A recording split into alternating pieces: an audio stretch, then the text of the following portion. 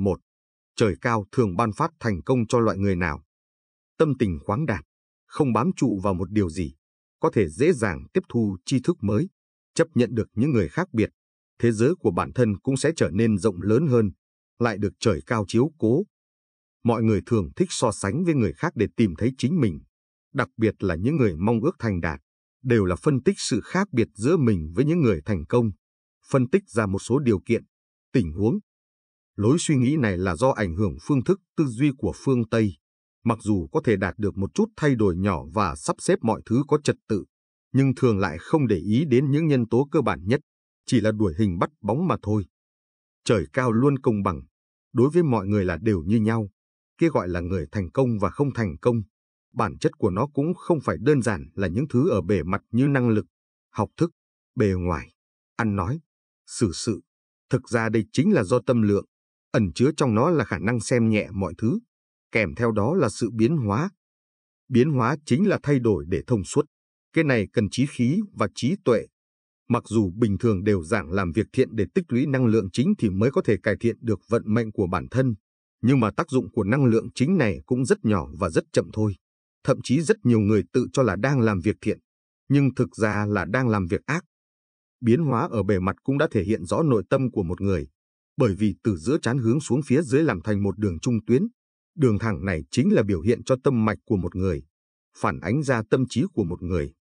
Cho nên người có tâm trí sai lệch, bộ mặt cũng vì thế mà vặn vẹo theo, trái phải lại càng không cân xứng, khó khăn chắc trở trong cuộc sống cũng càng nhiều. Mà phép biến hóa càng thể hiện được lòng dạ của con người. Người có tâm lượng rộng rãi, luôn không ngừng đề cao nhận thức, không ngừng đổi mới lý niệm của chính mình. Cho nên một người thành công, lý niệm của anh ta luôn vượt trên thời đại, luôn nắm bắt được thời cơ. Một người đạt được thành tựu lớn, lý niệm của anh ta có thể siêu việt thời đại, đồng thời có thể sáng tạo ra được những cơ hội. Những người này chúng ta hay gọi là vĩ nhân hay thánh nhân, bởi vì sự sáng tạo của bọn họ đã ảnh hưởng đến sự phát triển của cả thời đại. Họ chính là sinh mệnh được ông trời chiếu cố. Trái lại, vì sao rất nhiều người lại không được ông trời quan tâm, sự nghiệp càng ngày càng khó khăn, bởi vì lòng dạ quá chật hẹp, luôn phóng đại cách nghĩ của mình, do đó làm trí tuệ bị bế tắc, không thể tiếp thu nhận thức mới, tạo thành tính ngoan cố. Cho nên nhân sinh của những người này không có biến hóa, giữa chán sẽ xuất hiện rất nhiều nếp nhăn hoặc bị tổn thương. Những điều này sẽ hình thành nên những trở ngại cho sự thành công trong cuộc sống, cho nên mới nói nhìn vào đường trung tuyến này, có thể thấy được vận số của một người, thì ra là đạo lý này. Chữ biến ở trong biến hóa cũng không phải là cải biến, mà là sự đề cao không ngừng của tư duy trong suốt cuộc đời, cho nên phải luôn biến hóa. Nếu như luôn tự giới hạn trạng thái ý thức của mình, sẽ càng ngày càng bị xã hội bài xích, cuối cùng tạo thành trạng thái tuyệt vọng, càng ngày càng đi vào bế tắc. Xã hội ngày nay thường xuyên thấy những người coi nhận thức cố hữu của mình là chân lý, chính là vì bị ảnh hưởng quá nặng phương thức tư duy của phương Tây. Đây là phương pháp đã được dạy ở trường học. Nếu quá mê tín vào lối suy nghĩ này, sẽ làm trí tuệ bị bế tắc, nhìn không được rõ ràng. Đối với rất nhiều sự việc trong cuộc sống cũng đều không thể lý giải được. 2. Nhà khoa học giải thích, đức là một loại vật chất có thể tích trữ, quyết định vận mệnh của con người. Người xưa thường nói cần phải tích đức hành thiện. Người có nhiều đức thì sẽ có phúc phận to lớn. Nhiều người ngày nay cho rằng đó chỉ là mê tín. Nhưng nhiều nhà khoa học từ lâu đã chứng minh được sự tồn tại của đức và cách nó chuyển hóa thành phúc phận. Lão Tử từng nói, người nào đức dày, giống như trẻ sơ sinh, độc trùng không cắn, thú dữ không ăn, chim ưng chẳng bắt, hay trọng tích đức, không gì là không được. Trong văn hóa truyền thống phương Đông, người ta vẫn thường nói, có đức mặc sức mà ăn, có nghĩa đức là nguồn gốc của phúc phận, mọi công danh, địa vị, tiền tài, đều từ đức mà sinh thành. Ngược lại người ít đức thì luôn gặp bất hạnh. Con người ngày nay thường cho rằng, chỉ cần tích của cải, tiền tài, còn đức chỉ là những thứ thuộc về tinh thần, có cũng được mà không có cũng chẳng sao. Vậy thì tại sao người xưa lại khuyên con người phải tích đức? Phải chăng đức kia cũng là một dạng vật chất và có thể tích trữ được? Tiến sĩ David Bohm, một trong những nhà vật lý lý thuyết quan trọng nhất thế kỷ 20 xác định rằng ý thức là một dạng tinh vi hơn của vật chất. Ngay cả một viên đá cũng có sự sống theo một phương diện nào đó. Vì phương thức hiện diện của sự sống và trí tuệ không chỉ có trong vật chất, mà còn ở năng lượng, khoảng không, thời gian, của toàn vũ trụ. mọi thứ đều có sự sống. Tiến sĩ William Tiller, một trong những nhà khoa học hàng đầu thế giới về cấu trúc vật chất nói rằng, cuối cùng người ta cũng sẽ xem ý thức là một đặc tính của vũ trụ. Nó có khả năng tạo ra phóng xạ, sinh ra vật chất. Ở phương diện này, người ta rốt cuộc sẽ khám phá ra đặc tính của vật chất phụ thuộc vào ý thức nội tại của nó. Theo nhận định của các nhà khoa học trên, vật chất và ý thức là một thể thống nhất. Như vậy đức, một thứ vốn được coi là thuộc về phạm trù ý thức, cũng là một thứ tồn tại vật chất. 3. Đức tồn tại mãi theo thời gian. Trong cuốn sách Power với Fox, David G. Hakin tiến sĩ bác sĩ, nhà nghiên cứu nhận thức nổi tiếng người Mỹ đã viết, mọi vật trong vũ trụ đều liên tục sinh ra năng lượng với tần số riêng biệt.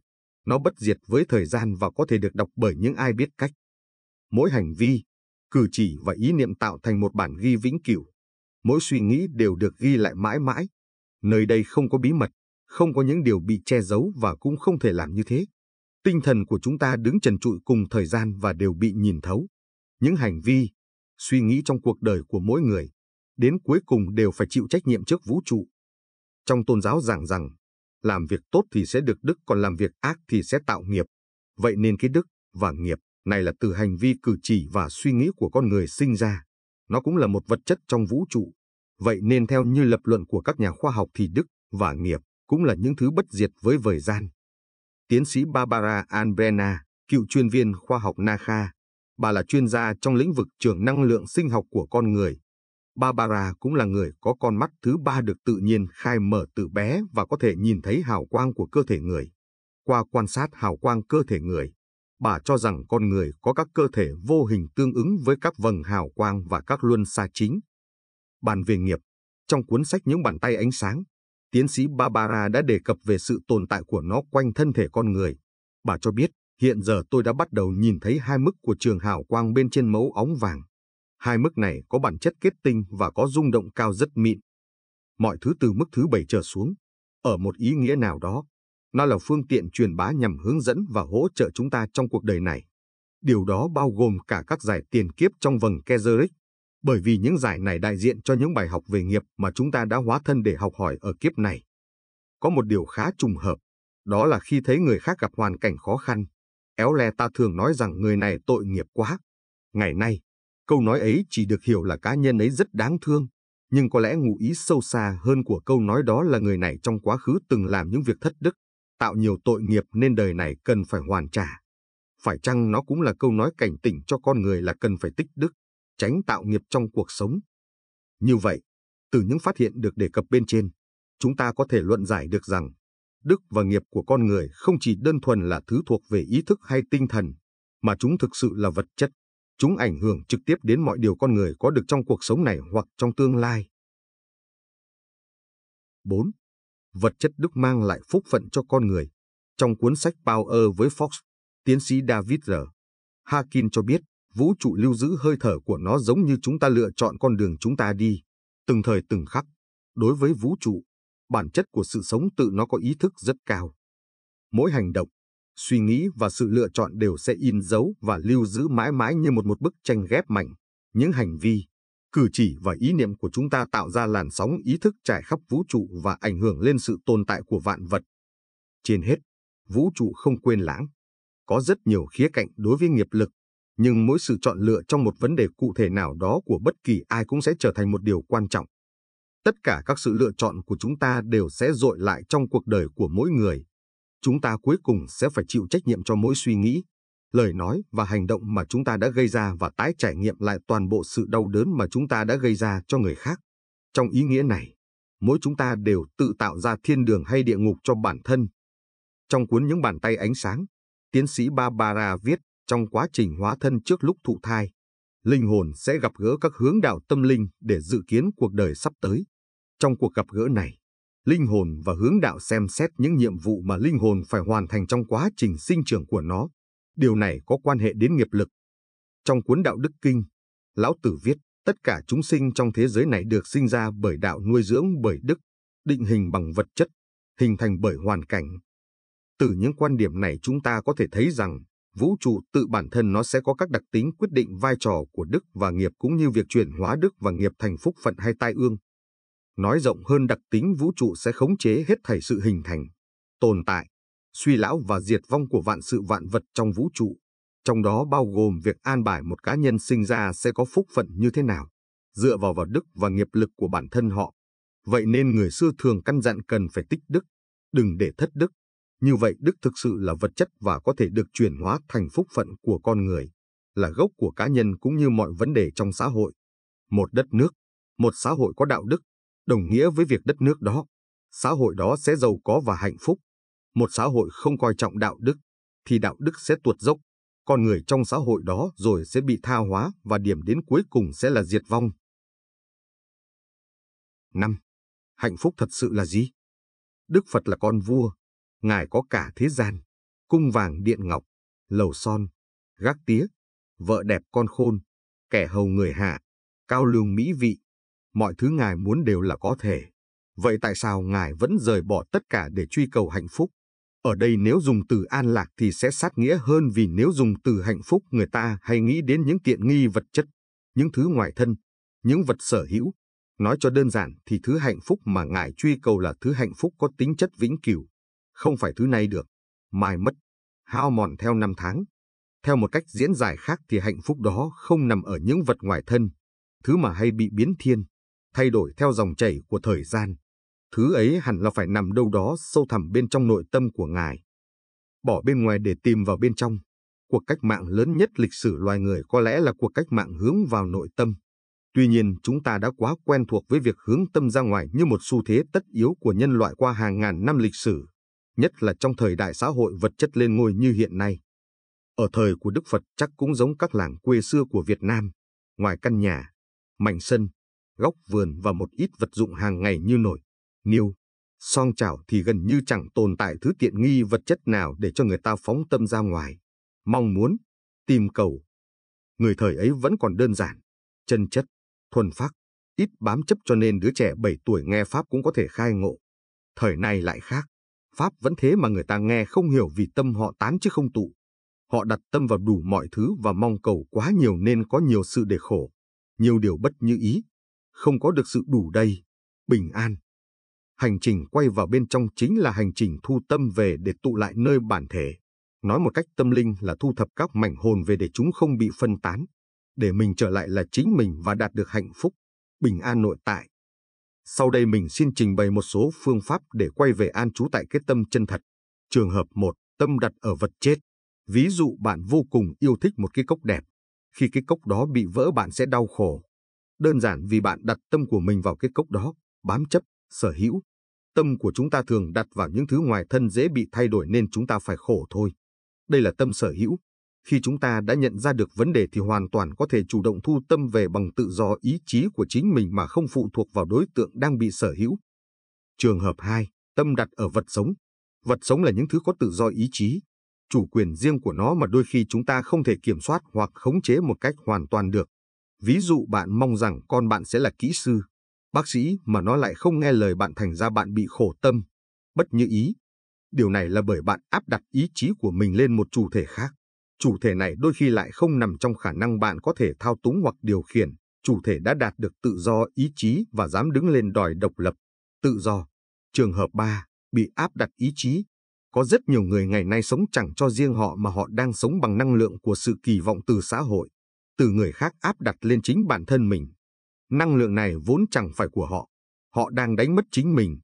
Tâm của người khác đang thao túng và điều khiển họ, rằng họ phải thế này, phải thế kia nếu không muốn bị đánh giá hoặc phán xét. Và ai có thể hạnh phúc được khi đánh mất chính mình? Những điều mà họ thực sự muốn, thực sự thích, thực sự đam mê có thể đã bị chôn vùi dưới hàng trăm các loại áp đặt khác nhau của vợ chồng, con cái, bố mẹ, bạn bè, thầy cô, đồng nghiệp, đám đông, xã hội, phong tục, tập quán, văn hóa, vùng miền. Những khát vọng bị kìm nén, phải nhìn người khác mà sống, không được thể hiện cá tính riêng nếu không muốn bị coi là lập dị, phải đối diện với những ánh mắt soi mói, sự đàm tiếu, xa lánh, hắt hủi của mọi người xung quanh. Liệu rằng điều ấy sẽ mang lại hạnh phúc?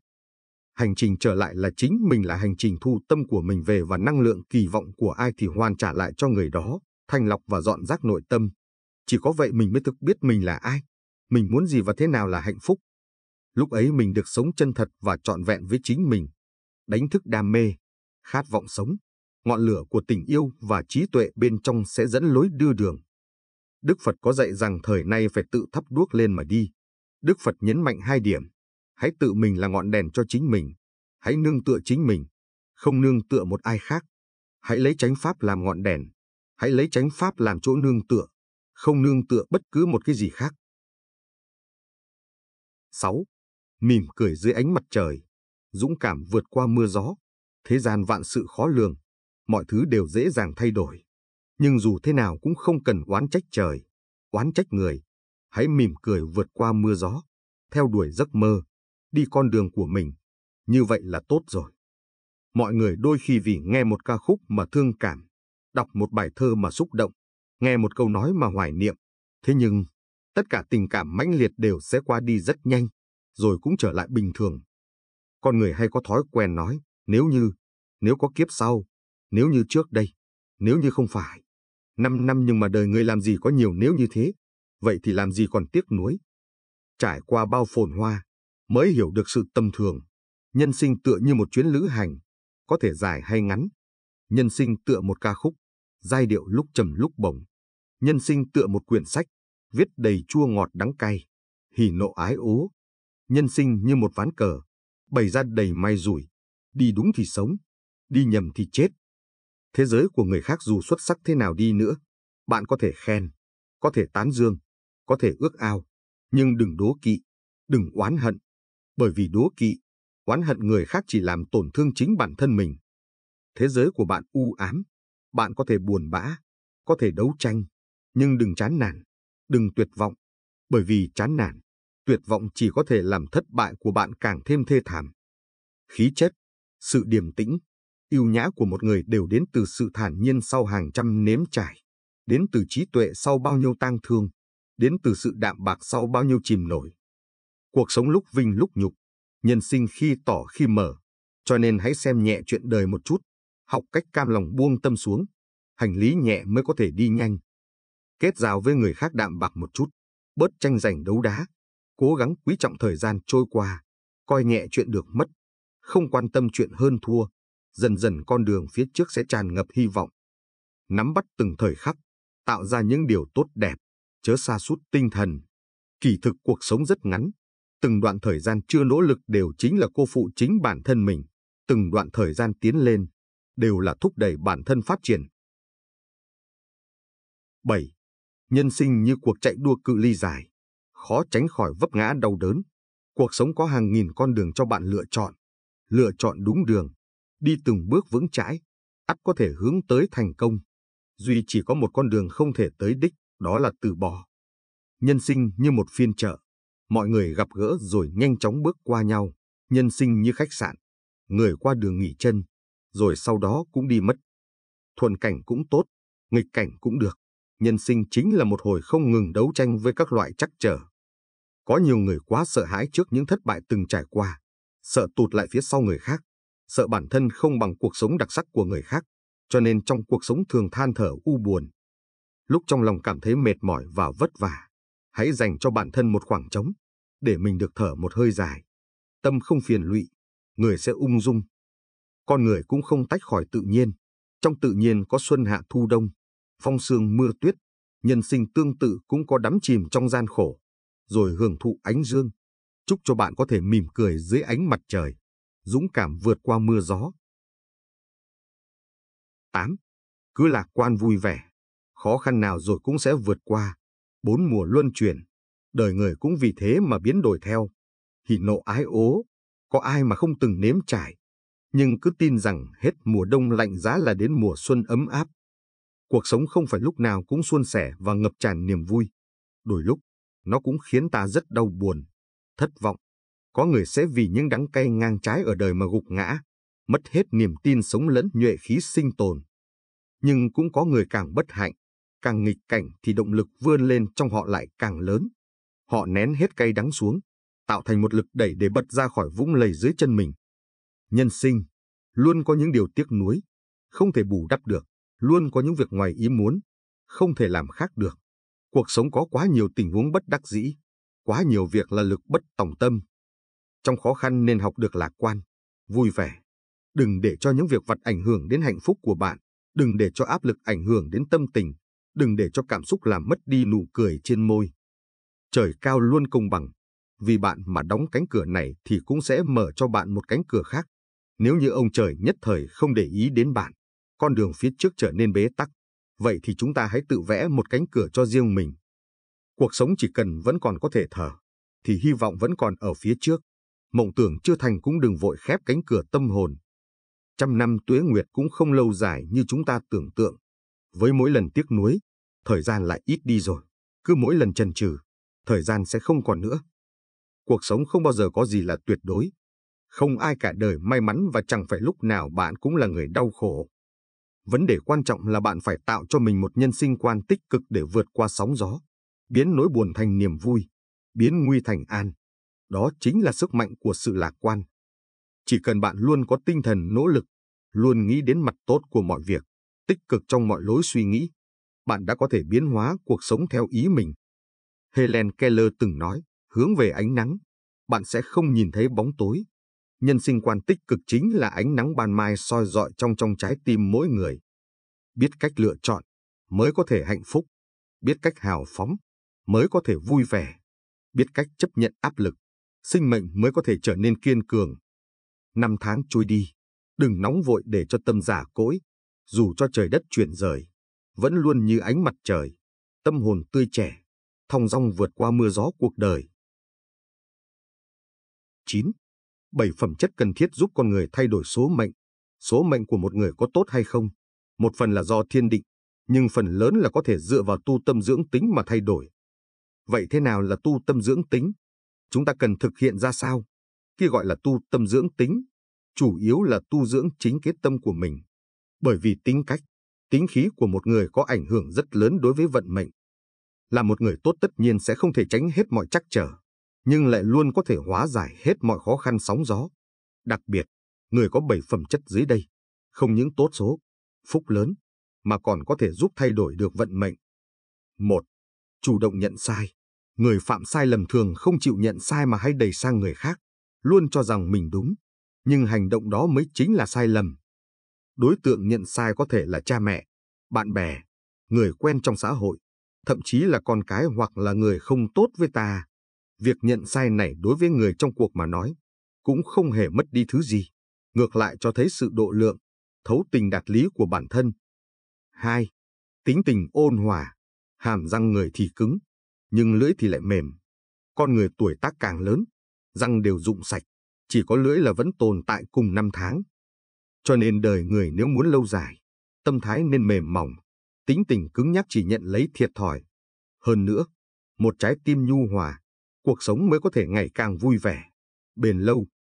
3. Người biết nhẫn nại. Thế gian này, chuyện không như ý chiếm đến 8, 9 phần. Rất nhiều lúc chỉ cần có thể nhẫn nhịn một chút, lui về phía sau một bước sẽ thấy gió êm sóng lặng, biển rộng trời cao. Nhẫn có thể giải quyết rất nhiều chuyện không như ý, có thể làm cho tình huống bớt nghiêm trọng hơn, có thể dùng năng lực và trí tuệ để biến chuyện lớn thành nhỏ, chuyện nhỏ hóa không. Hiểu được nhẫn mới có thể nhìn thấy rõ thật giả, thiện ác, thị phi của thế gian, cũng sẽ không mất đi khả năng phán đoán bởi vì hấp tấp. 4. Biết cách buông bỏ. Cuộc sống luôn có rất nhiều thứ cần mang theo, vào lúc cần dĩ nhiên sẽ dùng tới, nhưng có những thứ không cần nữa, sao không thử buông bỏ chúng đi? Lúc bạn cần buông xuống, lại cứ tiếc nuối không nỡ, trong lòng như luôn có tảng đá đè nặng, không thể tự do tự tại. Cuộc đời của con người là hữu hạn, nếu hiểu được biết buông đúng lúc, học được cách nhận sai, tôn trọng, bao dung, mới có thể có được bầu trời rộng lớn hơn. 5. Biết cảm ơn. Nhìn thấy chuyện vui của người khác nên thấy vui vẻ cho đối phương. Gặp được người tốt hoặc may mắn, cũng nên biết cảm ơn. Giữa con người với nhau, nếu thường xuyên mang một trái tim biết ơn, tự khắc mọi chuyện sẽ trở nên thuận lợi, nhân duyên càng ngày càng tốt đẹp. 6 biết trân quý chính mình. Sức khỏe chính là vốn quý. Lời này quả thật vô cùng sâu sắc đối với người già hay người bệnh. Một người chỉ cần cơ thể khỏe mạnh, sẽ không khiến cho người thân, bạn bè lo lắng. Nếu chỉ biết làm việc đến mệt mỏi, bỏ qua sức khỏe, như vậy lúc này kiếm tiền nhiều, cũng chỉ để dành mua thuốc men về sau. Cuộc sống như vậy chẳng phải quá lãng phí rồi sao? 10. Muốn sinh trí tuệ cần quét dọn bụi bẩn trong tâm hồn. Thời này chúng ta thường cho rằng những người thông minh là những người có ngộ tính tốt, có tuệ căn, có trí huệ lớn. Từ đó mà không ít người nhầm lẫn giữa thông minh và trí huệ. Trong văn hóa truyền thống, cổ nhân phương Đông nhìn nhận thông minh và trí huệ là hai khái niệm hoàn toàn khác nhau. Thực chất, thông minh là năng lực của con người, còn trí huệ là cảnh giới trong tâm hồn. Người thông minh đương nhiên khó tìm, là nhân tài trong 10 người chỉ chọn được một. Nhưng người trí huệ lại càng hiếm thấy hơn, có khi đi cả ngàn dặm cũng không tìm được ai. Từ chữ Hán mà xét, trí có nghĩa là không gì không biết, có thể thấu hiểu tường tận mọi việc trong thiên hạ. Trong kết cấu của chữ trí gồm có chữ chi ở trên và chữ nhật ở dưới. Có hàm ý nhắc nhở thế nhân muốn thành bậc trí giả uyên bác thì cần kiên trì không buông lơi. Mỗi ngày đều cần thu thập thêm tri thức, liên tục minh bạch ra các đạo lý và lẽ sống ở đời liên tục hoàn thiện chính mình. Kết cấu của chữ Huệ gồm chữ tuệ ở bên trên chữ tâm.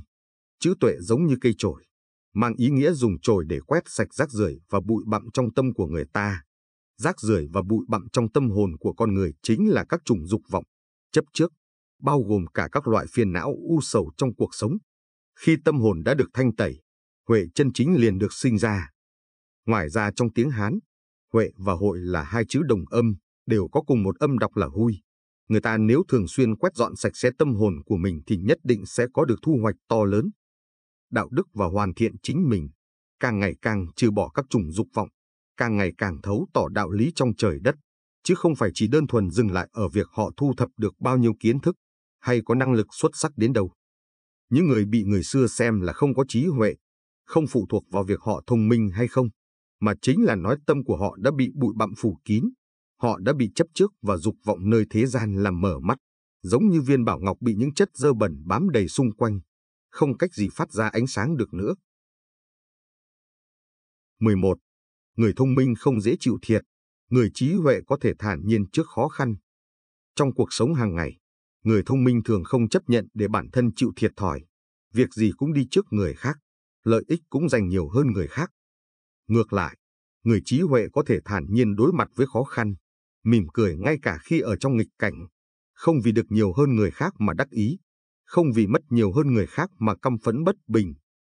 Người thông minh thường tìm mọi cách để bảo vệ lợi ích của bản thân và chiếm được nhiều tiện nghi hơn người khác, vì vậy mà tâm trạng lúc nào cũng không được thành thơi, ăn không ngon, ngủ không yên, ngay cả trong mơ cũng lo những điều của mình bị tổn thất. Do đó mà tinh thần và thể lực của họ ngày một suy kiệt. Người trí huệ thường thuận theo tự nhiên, thanh tâm quả dục, không cưỡng cầu những thứ không thuộc về mình, không vì lợi ích cá nhân mà đấu đá với người khác, vì có thể buông xuống rất nhiều dục vọng nên tâm của họ rất ít phiền muộn, có thể giữ cho chính mình lúc nào cũng vui vẻ an hòa. Do đó tinh thần của họ ngày một hưng phấn, sức khỏe và tuổi trẻ cũng được kéo dài hơn người khác. Những người có thể giữ cho mình lúc nào cũng lạc quan thường sở hữu vẻ ngoài trẻ hơn nhiều so với tuổi thật sự của họ. Như vậy, người thông minh thường có nhiều của cải và quyền lực, trong khi đó người trí huệ thì biết cách làm chính mình và người xung quanh hạnh phúc. Trong lịch sử có Vương Dương Minh, một nhà chính trị xuất sắc thời nhà Minh. Khi đến sống ở Long Trường, do ở đó hoàn cảnh khắc nghiệt nên những tùy tùng đi theo ông đều lần lượt ngã bệnh, chỉ có ông là vô sự. Vương Dương Minh nói, đến Long Trường hai năm, tôi và mọi người đều bị nhiễm chướng khí, nhưng tôi vẫn bình an vô sự. Đây là bởi vì bản thân tôi luôn duy trì tâm thái tích cực, thái độ lạc quan, không nghĩ đến điều bi thương đau khổ, không thường hay lo lắng u sầu như họ. Điều này dường như phần nào đã nhắc nhở con người hiện nay, trong đại dịch viêm phổi Vũ Hán trước mắt, cũng nên bảo trì tâm thái tích cực, an hòa, yêu đời và yêu người hơn, không nên quá chìm đắm trong những lo nghĩ hay u sầu về bệnh tật, kinh tế. Càng lo nghĩ thì càng không giải quyết được vấn đề, trái lại chỉ khiến chính mình dễ bị mắc bệnh hơn. 12. Người thông minh biết lúc nào nên nắm bắt, người trí huệ biết lúc nào cần buông bỏ.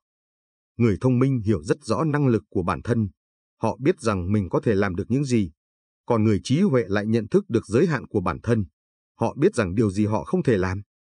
Người thông minh rất nhạy bén với hoàn cảnh, biết chấp lấy thời cơ, biết nắm bắt cơ hội.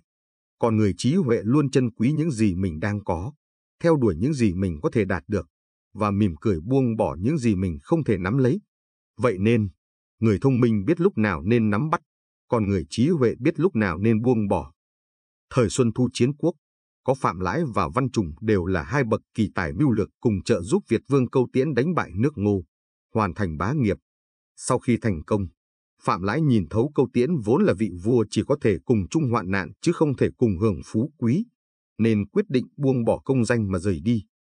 Trước khi ra đi, Phạm Lãi nói lại cho người bạn đồng cam cộng khổ Văn Trùng của mình nghe và cũng khuyên ông cùng mình rút lui.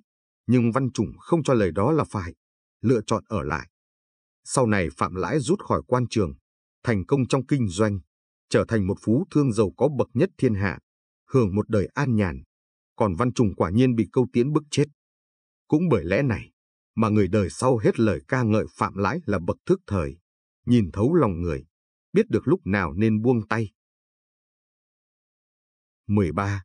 Người thông minh muốn thay đổi thế giới, người trí huệ cố gắng hoàn thiện chính mình.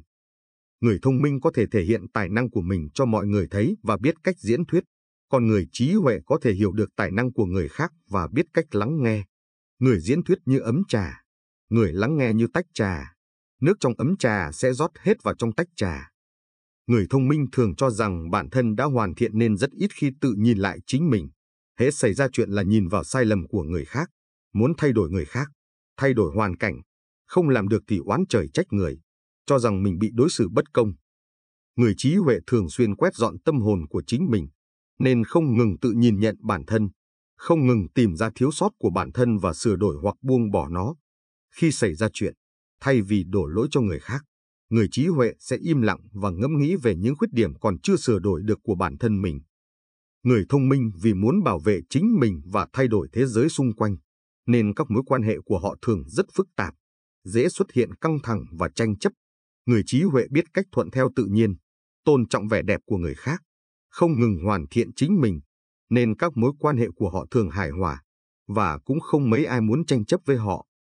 Do đó, muốn cầu tiền tài và danh vọng, người thông minh sẽ phấn đấu hết mình để đạt được. Nhưng muốn thoát khỏi phiền muộn, không phải là người trí huệ thì không thể làm được. Thông minh phần nhiều là do trời sinh, còn trí huệ có được từ việc không ngừng tu dưỡng đạo đức và trừ bỏ dục vọng cá nhân. Như vậy, thông minh là nhờ vào phúc phận mà đến chứ khó có thể cầu, còn trí huệ hoàn toàn có thể đạt được thông qua rèn luyện.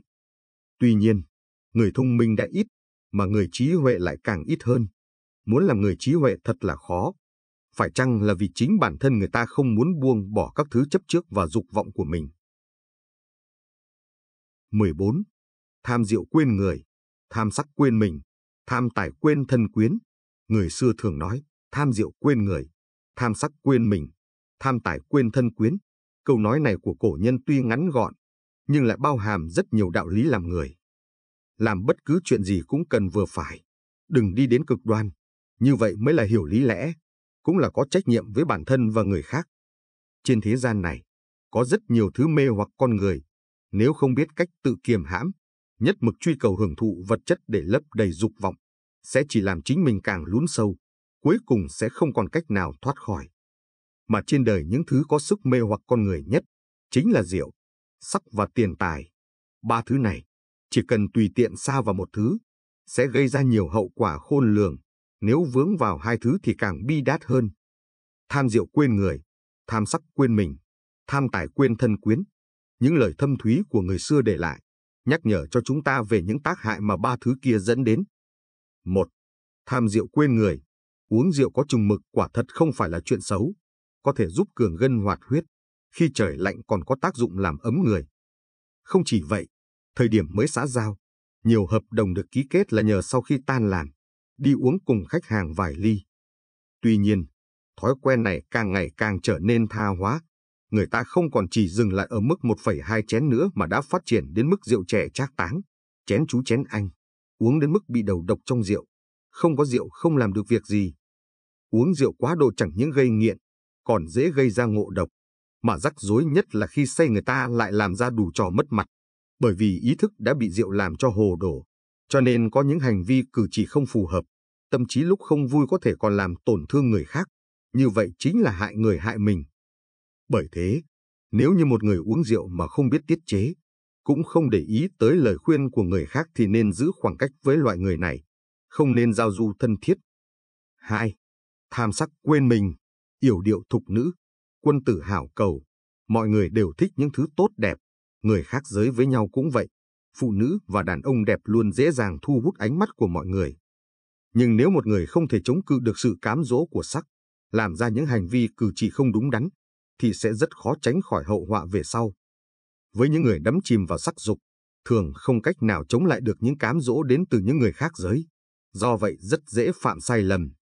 Lâu dần, không chỉ làm tổn hại đến thân thể của bản thân, khiến tinh huyết hao tổn, tinh lực suy kiệt, mà còn ảnh hưởng đến mối quan hệ với gia đình, với người khác, đặc biệt là với những người đã lập gia đình, thì chuyện này lại càng mang đến hậu quả đáng tiếc hơn. Không thiếu những ví dụ tiêu cực trong xã hội này, đặc biệt gần đây rất nhiều người nổi tiếng, quan chức, vì không thể kìm hãm được dục vọng của bản thân mà đã phát sinh ra những mối quan hệ ám muội với người khác giới. Những kiểu hành vi như thế này sau khi bị phơi bày ra ánh sáng, gia đình hai bên đều bị ảnh hưởng nghiêm trọng, hơn nữa còn ảnh hưởng đến sự nghiệp của chính mình. Cuộc đời cũng vì thế mà dính những vết nhơ vĩnh viễn không thể nào xóa sạch. 3. Tham tài quên thân quyến. Khổng tử có câu, quân tử ái tài, thủ chi hữu đạo. Ý nói, người quân tử coi trọng của cải nhưng lấy của cải phải đúng đạo lý. Hiện nay muốn duy trì cuộc sống, tiền là thứ rất quan trọng, nhưng khách quan mà nói, vẫn có nhiều thứ quan trọng hơn cả tiền, giống như tình thân. Một người khi chìm sâu vào tiền tài, rất dễ bị lòng tham dẫn dắt, chỉ vì một chút lợi ích nhỏ mà gây gổ cãi nhau với người thân. Thậm chí có người thống hận tới nỗi đến chết cũng không muốn nhìn mặt nhau. Tiền có thể từ từ kiếm ra, nhưng người thân một khi đã mất sẽ chẳng bao giờ có thể nói chuyện được nữa. Có rất nhiều anh chị em khi bố mẹ vẫn còn sống, lạnh lùng vô tình tranh chấp tài sản trước mặt bố mẹ. Hành động này không chỉ làm tổn thương bố mẹ, mà còn tổn hại đến ngày tháng sống chung với nhau sau này, tựa như đang chôn một quả bom, có thể phát nổ bất cứ lúc nào. Tham rượu quên người, tham sắc quên mình, tham tài quên thân quyến, chỉ ba câu ngắn ngủi lại có thể giảng giải rất nhiều đạo lý làm người. Cuộc đời nếu có thể không bị ba thứ này hấp dẫn, thì bản thân mới có những tháng ngày bình yên, tốt đẹp. 15. Cuộc sống vì sao luôn có sự đan xen giữa niềm vui và nỗi buồn. Con người sống trên đời, không thể lúc nào cũng thuận buồm xuôi gió. Hầu như ai cũng đều phải trải qua phong ba bão táp, vui buồn sướng khổ đan xen. Đây có lẽ là sự an bài của thiên thượng, để con người đưa ra sự lựa chọn của chính mình. Có ông lão 75 tuổi, mỗi ngày đều phải sống dựa vào chiếc xe lăn. Một hôm, đứa cháu trai chạy đến thổ lộ với ông rằng, ông ơi, cháu 28 tuổi rồi. Dù tốt nghiệp một trường danh tiếng nhưng cháu vẫn chẳng làm nên trò chống gì. Thậm chí những người có trình độ học vấn kém hơn cháu cũng có cuộc sống khá hơn. Cháu thật không cam tâm. Cuộc đời này sao lại bất công đến thế? Sau khi nghe đứa cháu than thở, ông lão cười nói, vậy cháu hãy nói cho ta biết, trên đời này thế nào mới là công bằng? Người cháu đáp lại, không phải người ta vẫn nói phó xuất thì sẽ có hồi báo sao? Không phải nói làm việc chăm chỉ sẽ có thu hoạch sao? Cháu chăm chỉ như vậy, cố gắng như vậy, sao vẫn có được sự công bằng? Ông lão nói, khi ta còn trẻ, thường hay lên núi trồng trọt với cụ cố của cháu, mỗi ngày đều rất vất vả. Nhưng cuối cùng, thu hoạch của nhà chúng ta không được tốt, còn của gia đình người khác lại đặc biệt tốt. Thậm chí, đôi khi chúng ta còn siêng năng hơn những người khác, nhưng kết quả vẫn như vậy. Thế nhưng, cụ cố của cháu lại nói, làm người, chỉ cần không thẹn với lương tâm của mình là được rồi, cho dù không đắc được gì, nhưng lương tâm thấy thỏa mãn, luôn giữ vững được sự lương thiện, như vậy là đủ rồi. Khi đó, ta không hiểu những lời mà cụ cố của cháu nói có ý gì, nhưng khi đã có chút tuổi tác, ta mới hiểu rằng, nhân sinh muôn màu, chỉ cần không trái với lương tâm là tốt rồi, không cần phải quá vướng bận. Điều ông lão nói chính là một đạo lý nhân sinh mà chỉ khi chúng ta trải qua những năm tháng thăng trầm mới thấu hiểu được. Dù làm người hay làm việc, thành công hay thất bại, công bằng hay không, đều cần giữ vững lương tâm của chính mình. Trong đạo đức kinh có câu, thiên đạo vô thân, thường giữ thiện nhân, ý nói rằng đạo trời là công bằng, không thiên vị bất kỳ ai, nhưng thường hay giúp đỡ những người lương thiện. Trời cao là không có quan hệ thân sơ với bất kỳ ai, chỉ đứng một bên quan sát chúng ta hành sự. Làm việc tốt thì phù trợ, làm không tốt thì tự con người phải gánh lấy hậu quả. Có một từ dùng để khái quát rất hay, gọi là tự làm tự chịu. Tất cả mọi sự trên đời này, dù ai làm điều gì, đều phải tự gánh lấy tương lai. Mặc dù đạo trời là vô tình, nhưng cũng rất công bằng, lại thường chiếu cố và ban ân cho những người thiện lương. Bởi vậy, lương thiện chính là điều mà cả đời người ta cần theo đuổi. Người có lòng tốt thì cuộc đời sẽ gặp nhiều may mắn, sung túc. Hiện tại, rất nhiều người thường nhấn mạnh quan điểm rằng làm người thì không thể quá lương thiện, nếu không sẽ bị đè đầu cưỡi cổ. Những người nói lời này đều là những kẻ vô lương tâm. Nếu mỗi người đều bỏ đi sự lương thiện tiên thiên của mình, thì xã hội này sẽ trở nên hỗn loạn. Con người khi đã có tuổi tác, trải qua biết bao thăng trầm của cuộc sống, cuối cùng sẽ hiểu rằng việc đối nhân xử thế chỉ cần không hồ thẹn với trời đất, không thẹn với chính mình là được rồi. Có người cho rằng để có nhiều tiền hơn, để con cháu sống tốt hơn, bớt căng thẳng hơn họ có thể làm mọi thứ mà không từ thủ đoạn. Một số người nghĩ rằng miễn là họ có thể nhận được nhiều lợi ích hơn, thì dù điều đó có trái với lương tâm của họ thì cũng không thành vấn đề. Suy nghĩ như vậy quả thật là nông cạn. Bạn phải biết rằng, con người sống cả đời, chỉ cần tâm hồn được sự bình yên, chỉ cầu trước sau được vẹn toàn đã là quá sung sướng. Nếu một người đánh mất lương tâm khi gặp nghịch cảnh hay đang trên đỉnh vinh quang, cuộc đời của họ rồi sẽ rất bi ai và thống khổ. Nhân sinh vì sao lại là buồn vui cùng tồn tại? Vì nỗi buồn và niềm vui đều là do trời cao đang tôi luyện và khảo nghiệm con người, để xem dù trong lúc thuận lợi hay nghịch cảnh, con người liệu vẫn còn giữ được sự lương thiện của mình hay không? 16. Quá cố chấp thường khiến cho các mối quan hệ dạn vỡ. Cuộc sống có những thứ càng theo đuổi lại càng thấy mệt mỏi, càng cố chấp lại khiến cho các mối quan hệ trở nên bế tắc. Đôi khi buông lỏng lại chính là cấp cơ hội cho cả mình và người. Bạn có từng đứng tại góc độ của đối phương mà suy nghĩ. Tôi đã tham gia vào việc tư vấn và giáo dục trong nhiều năm. Từ trước đến nay luôn giúp đỡ mọi người hàn gắn những tổn thương trong lòng do các mối quan hệ mang lại. Tôi từng gặp một người phụ nữ vô cùng ưu tú. Để cải thiện mối quan hệ giữa cô và mẹ, cô đã đầu tư rất nhiều tiền bạc và thời gian vào không ít các khóa học. Những người quen biết cô đều thấy cô là người thấu hiểu lòng người, rất biết nghĩ cho người khác. Không có việc gì là cô ấy không cân đối được. Nhưng có một điều cô luôn canh cánh trong lòng, đó là không thể chung sống hòa bình với mẹ của mình được. Mỗi lần mẹ con gặp nhau lúc nào cũng như trong trạng thái sẵn sàng chiến đấu. Mẹ cô nhiều lần trách mắng cô không ra gì. Cô không ngừng thay đổi bản thân để phù hợp với sự kỳ vọng của mẹ, nhưng tất cả đều tốn công vô ích. Chúng tôi dành rất nhiều thời gian để thảo luận, vẫn không tìm được nút thắt để cải thiện mối quan hệ. Lần nọ, sau khi khóc lóc than vãn một hồi, tôi trực tiếp hỏi cô ấy, ngoài chuyện mẹ của cô ra, trong cuộc sống này cô còn cảm thấy thiếu thốn điều gì không?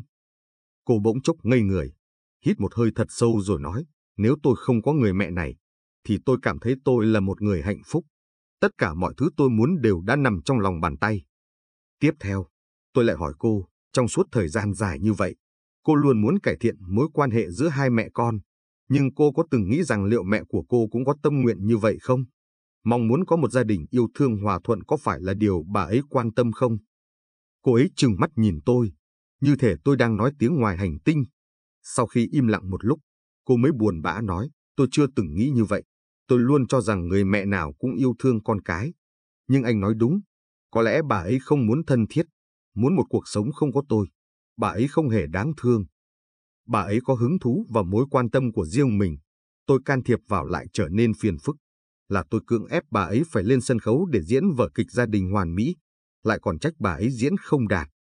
Ôi nói, đây không phải là lỗi của cô, mà đối với việc hài hòa các mối quan hệ, toàn xã hội này đều mắc một chứng bệnh gọi là rối loạn ám ảnh cưỡng chế.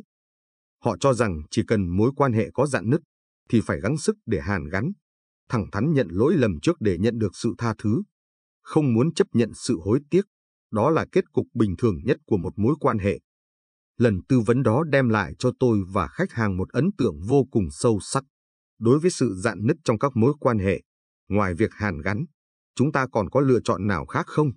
Liệu rằng có phải chúng ta quá cố chấp nên mới gây nên những tổn thương trong các mối quan hệ? Chỉ chăm chăm muốn có được sự thỏa mãn cho chính mình bằng cách đặt kỳ vọng lên người khác, mà lại quên mất rằng mối quan hệ phải xuất phát từ hai người. Động thái chỉ từ một phía, hạnh phúc không bao giờ xuất hiện. Trong bộ phim Nhật Bản Doctor, Rinta, khi một bác sĩ khoa tâm thần đối mặt với một cô gái vì quá yêu sầu mà muốn tự tử, anh ta không khuyên răn những câu như là thế giới này đẹp biết bao, phải kiên cường dũng cảm tiếp tục sống, mà thấy được sự tổn thương sâu sắc trong lòng đối phương. nên nói với cô ấy, không cần phải gắng gượng nữa. Cô đã kiên trì đến mức không thể kiên trì được nữa rồi. Cho dù là cố sức thế nào, thì tình hình cũng rất khó để cải thiện. Tại sao không tự mình buông bỏ? Học cách yêu thương bản thân, không quá bận tâm đến những việc phiền toái và trách nhiệm. So với việc dũng cảm tiến lên là chuyện đòi hỏi phải có thêm nhiều dũng khí. 17. Mối quan hệ như một căn phòng, đòi hỏi phải thường xuyên dọn dẹp. Tôi nhớ có một khoảng thời gian, cuốn sách về dọn dẹp nhà cửa bán rất chạy. Mọi người đều học cách thoát khỏi vật dụng, rũ bỏ những gánh nặng không cần thiết, khiến cuộc sống tươi mới trở lại. Nhưng dường như trước nay chúng ta chưa từng suy xét kỹ càng rằng có bao nhiêu không gian tâm lý trong lòng chúng ta, có thể chứa thêm được bao nhiêu người, và những người này sẽ chiếm giữ hay chia sẻ không gian tâm lý thế nào. Ai xứng đáng được giữ lại, ai sẽ phải ra đi. Dường như chúng ta rất bị động, đón nhận liên tiếp mối quan hệ này đến mối quan hệ khác, phải ghi nhớ cái tên này đến cái tên nọ, cho dù người đó không tồn tại trong cuộc sống, nhưng vẫn tồn tại trong cảm xúc của bạn, khiến bạn hao tổn không ít tâm sức. Khi chúng ta học được kỹ năng thoát khỏi vật dụng, có hiệu quả trong việc giảm cân cho không gian vật lý, loại bỏ những thứ dư thừa. Cùng lý thuyết này, chúng ta liệu có thể vận dụng với không gian tâm lý, tìm lại chất lượng cuộc sống. Một lần, tôi gặp một chuyện phiền não trong công việc. Nó đã gây phiền nhiễu cho tôi một khoảng thời gian. Mặc dù tan ca trở về nhà trong lòng vẫn bận tâm về chuyện này. Một buổi tối, để bản thân bình tâm trở lại, tôi cầm máy hút bụi để hút bụi bẩn ở trên sàn. Hút mãi hút mãi, tôi đột nhiên nhận ra một chuyện rất quan trọng. Tôi chăm chỉ dọn dẹp như vậy để giữ nhà cửa luôn gọn gàng. Ra ngoài cũng không mua đồ linh tinh mang về nhà. Nhưng tại sao chỉ vì một người không quan trọng, mà lại dễ dàng chiếm cứ không gian tâm lý và làm rối đầu óc tôi như vậy? Lúc đó, tôi mới nhận ra rằng tôi không trân trọng ngôi nhà tâm lý như chân quý căn nhà của mình. Mối quan hệ giống như một căn nhà, đòi hỏi phải dọn dẹp thường xuyên. Tôi không những không thường xuyên sắp xếp dọn dẹp, còn chất đống đủ các thể loại mối quan hệ ở trong đầu. Có những mối quan hệ tốt, có những mối quan hệ xấu, nhưng khi tất cả các mối quan hệ cứ chồng chéo lên nhau, không có giới hạn cách biệt, thì cho dù là tốt thì cũng dễ bị nhiễm bẩn, bị nhấn chìm. Từ đó về sau, tôi hiểu rằng các mối quan hệ phải được cắt tỉa, dọn dẹp thường xuyên. Nếu cứ để chúng ngổn ngang bừa bãi, chỉ đem lại cho chúng ta thêm nhiều gánh nặng và đau khổ. 18. Ba ngã rẽ của số phận. Có một câu chuyện kể rằng, một nhà kia có ba người con trai. Chúng từ nhỏ đã lớn lên trong cảnh bố mẹ cãi nhau không ngừng. Mẹ của chúng thường bị đánh đến thâm tím mình mẩy. Người con trai cả nghĩ rằng mẹ thật sự quá tội nghiệp. Sau này mình cưới vợ sẽ thương yêu vợ nhiều hơn. Đứa thứ hai nghĩ kết hôn thật không thú vị gì cả. Sau này mình lớn lên nhất định sẽ không kết hôn. Đứa thứ ba nghĩ, à, thì ra chồng có thể đánh vợ như vậy. Bạn xem, lối tư duy giữa người đàn ông tốt và đàn ông xấu, trời sinh ra đã không giống nhau. Người đàn ông tốt có thể bao dung những thiếu sót của bạn, còn người đàn ông xấu lại luôn muốn được đằng chân lân đằng đầu. 19. Đợi chờ và sự khác biệt. A Huệ từng quen biết hai người bạn trai. Một người trong đó khi hẹn hò thường hay đến muộn, còn người kia chưa từng đến muộn bao giờ. Người thích đến muộn nói, bởi anh biết, nếu anh đến muộn thì em nhất định sẽ đợi anh mà. Người chưa từng đến muộn kia cũng nói, bởi anh biết, nếu anh đến muộn thì em nhất định sẽ đợi anh mà. Cùng một câu nói, nhưng logic lại hoàn toàn khác nhau. Có những người bởi vì biết rằng bạn nhất định sẽ chờ anh ta, vậy nên yên tâm đến trễ. Có những người bởi vì biết rằng bạn nhất định sẽ chờ anh ta, nên cố gắng hết sức không để bạn phải chờ. Có những người đàn ông vui chơi ở bên ngoài đến trời tối mịt còn chưa chịu trở về nhà, thoải mái cô phụ tấm lòng của người vợ để đèn chờ ở nhà. Còn mắt của họ không phải nhìn về phía bạn, vậy nên đối với lòng tốt của bạn cứ nhìn mà như không thấy.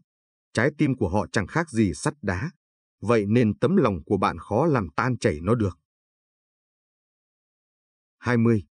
Dấu ấn một tình yêu Vũ Hiên lúc nhỏ xem phim cao thủ slam dunk, tay không nhét bóng vào rổ. Thích Lưu Thuận Phong ở trong đó. Lưu Thuận Phong không chỉ giỏi chơi bóng rổ, hơn nữa khi đối diện với một đám thiếu nữ đẹp lớn tiếng hô Lưu Thuận Phong. Lưu Thuận Phong, anh ta vẫn không một chút động tâm. Sau khi lớn lên, Vũ Hiên đã quen với một anh chàng có phần cao ngạo. Sau đó chuyện tình cảm đã đổ vỡ.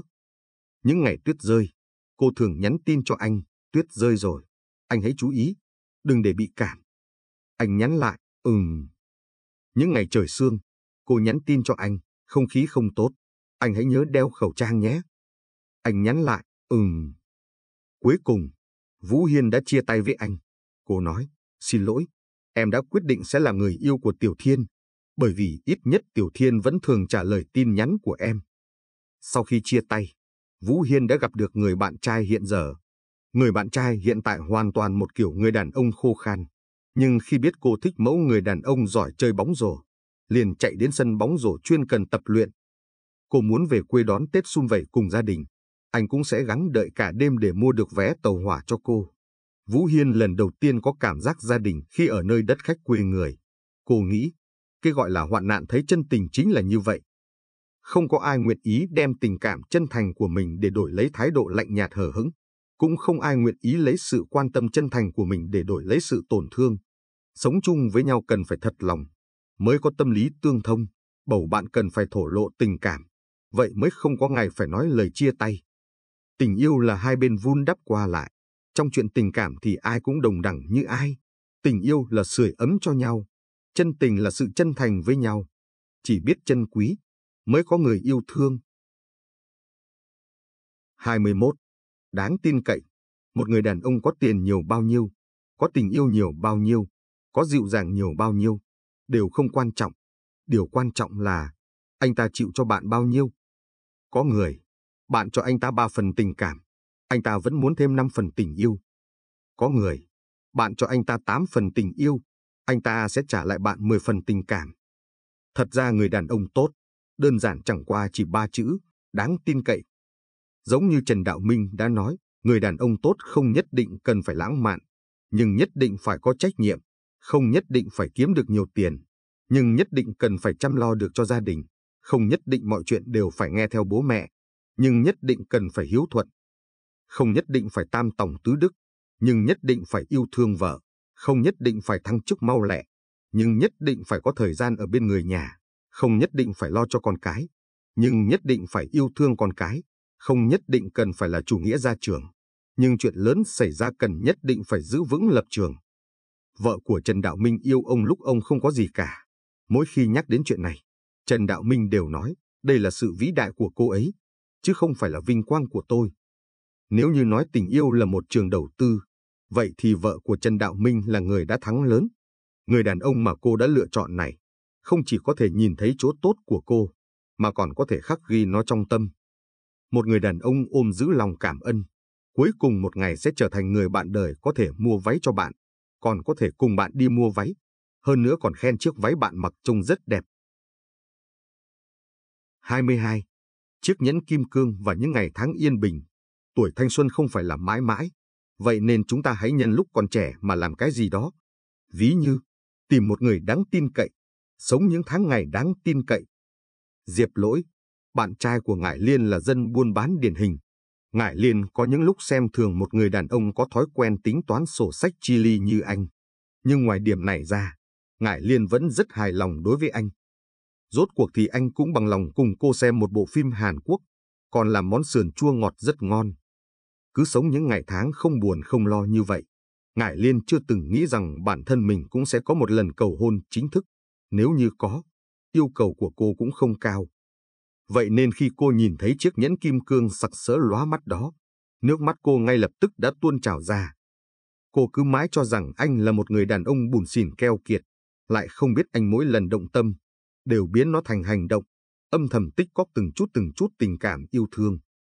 Có lẽ loại người đàn ông như vậy không giỏi ăn nói, nhưng họ sẽ từ những chỗ rất nhỏ khiến bạn cảm nhận được sự quan tâm và chân thành. Có lẽ người đàn ông như vậy không biết lãng mạn, bởi vì họ không phải chỉ muốn ở cùng bạn một lần, mà là muốn che chở cho bạn cả đời. Có lẽ người đàn ông như vậy không biết cách ăn mặc, nhưng họ đối với mỗi một món đồ mà bạn muốn mua lại không keo kiệt chút nào.